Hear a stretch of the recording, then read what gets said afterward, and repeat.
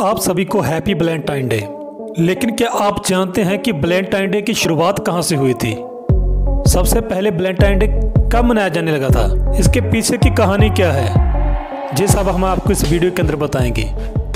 Oreo of Jacobus de ब्रोजिन नाम की एक पुस्तक के मुताबिक, रोम के एक पादरी थे जिनका नाम था संत ब्लेटाइन। वे दुनिया में प्यार को बढ़ावा देने में मान्यता रखते थे। उनके लिए प्रेम ही जीवन था। इसीलिए इसी शहर के एक राजा, क्लोडियस को उनकी यह आदत अच्छी नहीं लगती थी। राजा को लगता था कि प्रेम विवाह से पुरुषों की बुद्धि और शक्ति दोनों ही खत्म हो जाती है। इसी वजह से वह राज्य में जो सैनिक और अधिकारी हुआ करते थे, उनको शादी न करने का हुक्म देता था।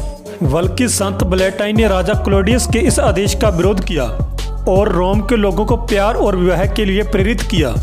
इतना ही नहीं, उन्होंने कई अधिकारियों और सैनिकों की शादी भी करवाई। इस बात से राजा भड़का और उसने संत ब्लेंटाइन को 14 फरवरी दो सौ उनहत्तर में फांसी पर चढ़ा दिया। इसे हर साल इसी दिन प्यार के दिन के तौर पर मनाया जाने लगा। संत ब्लेटाइन ने अपनी मौत के समय जेलर की नेत्रहीन बेटी जेकोबस को अपनी आँखें दान की।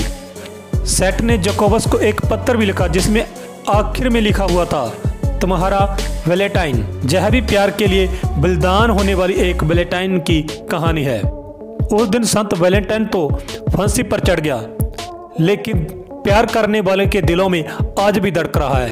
संत वेलेटाइन की तरह प्यार को बढ़ावा देने वाले हमारे चैनल को लाइक व सब्सक्राइब ज़रूर करें।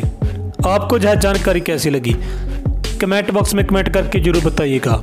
और यदि अभी तक आपने हमारे चैनल को सब्सक्राइब नहीं किया तो सब्सक्राइब कर लीजिएगा। धन्यवाद।